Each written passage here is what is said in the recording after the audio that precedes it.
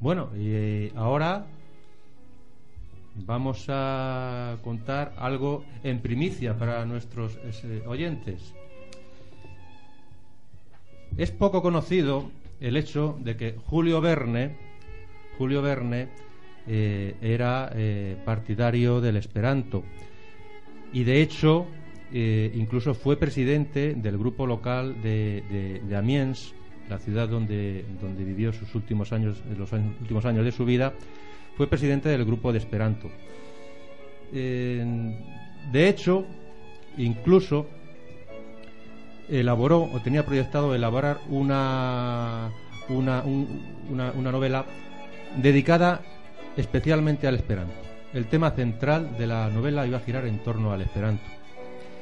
La comenzó, escribió, eh, llegó a escribir cinco capítulos y varias notas, pero eh, murió antes de, terminar esta obra. Esta obra eh, fue terminada por su hijo, pero su hijo traicionó el contenido de esta obra y eliminó toda alusión al Esperanto. Eliminó toda alusión al Esperanto.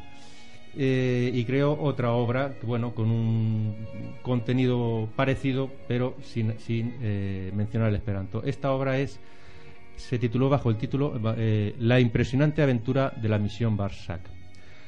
Bueno, pues esta obra, el año 1981, se descubrió los originales. Hasta ese momento estaban guardados por la familia y no se conocían, pero se hicieron, públicos este año, eh, se, donaron a la Biblioteca Pública de Amiens y entonces se descubrió el, texto original.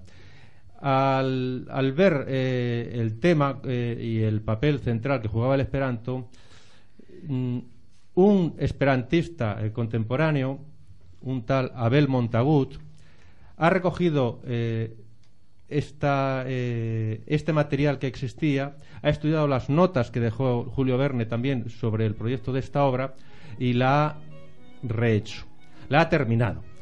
Y esta obra mm, está ya a punto de salir publicada. Va a salir publicada, Abel Montagut es, catalán, su lengua materna es el catalán, y va a salir publicada en catalán. Esto ya lo tiene el editor en sus manos y por tanto va a ser una cosa que va a ocurrir eh, ya, en cualquier momento saldrá ya publicado. Posteriormente será publicada esta obra en, castellano y en francés. Y por último, eh, será editada también la versión en esperanto. Bueno, esto es eh, una eh, noticia que traemos aquí y que ya la adelantamos que va a ocurrir.